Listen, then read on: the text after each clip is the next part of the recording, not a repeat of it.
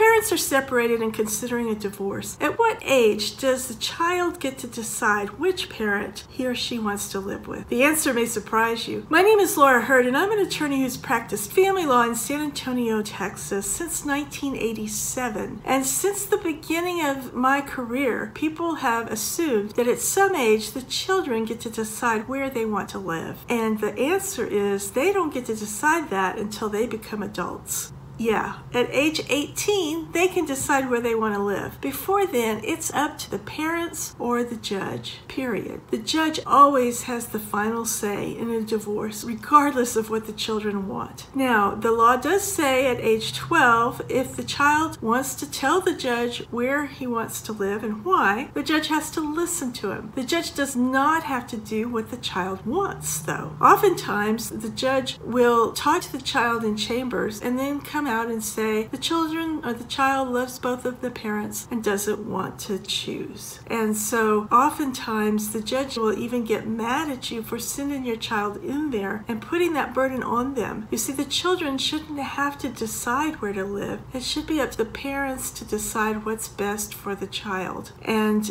if the judge decides what's best for the child, he may go against your wishes if you push too hard. My name is Laura Heard. If you have questions, give me a call. Oh.